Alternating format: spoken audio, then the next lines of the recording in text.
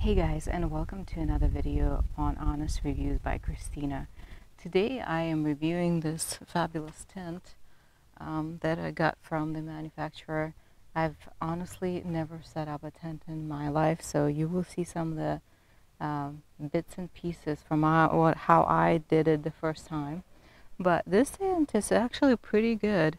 Uh, granted I don't have much of a comparison but uh, as a first time user of the tent, it was pretty simple to set up. It took me about 20 minutes the first time around, um, but overall, I don't think it's long enough for the first time. So I did not, one thing I did not do, I didn't put the stakes in, which are right here, just because the ground here is so hard. I did not have any tools to actually do it into the ground, but if you have a hammer or some some some kind of a um, tool like this uh, to get it in the ground, these things prohibit it from actually um, getting out of the ground. So very simple tent, no frills, nothing. It's very basic. So it has a tent cover, as you can see right over here. It has a zipper. No, zippers work exceptionally well so far. And it has also a uh, some Velcro here in case you don't want to be bothered with a zipper. And inside, it opens up like it's basically pure mesh, and it opens up like this. Now it is said it's it's supposedly a two-person tent, and I it would fit two people, but I'm not really sure that I would want to share it with with another person, just because it, it's still kind of small, uh, especially if you want to store your backpack right next to you. Um, so let me show you a closer look. Um, but overall, it's a not a bad tent. Now I looked at the stem of the stitching. It's not ideal. There are some threads coming out like this, so I'm not really sure how long it's gonna last compared to um, other higher mm, performance uh, tents. But if you are not a regular backpacker like myself and you want something that is not very expensive, that's a pretty decent option. Let's take a look inside.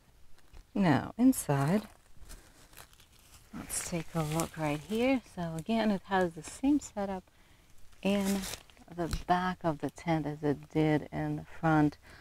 And uh, here's the stitching that I was referring to. You see how it's coming out a little bit so again, it's not ideal, um, and none of them are very even, but the zippers are actually pretty good. And here's what I was talking about. Zippers are on the inside and outside have those strings just for convenience. Very simple to close and open. Here, to attach the rain cover, you have this. And this is what it looks like. These are the stakes. They're actually pretty sturdy. I was surprised that I was able to get them together like that. But, and the same kind of setup. Here on the other side, you actually have two zippers. There's a little bit more convenience. So you can flap it over, over like this and have it open if you'd like. So I would say this is the back side of the tent. It does also have some of the ventilation here. If you like, you'd open it up like that.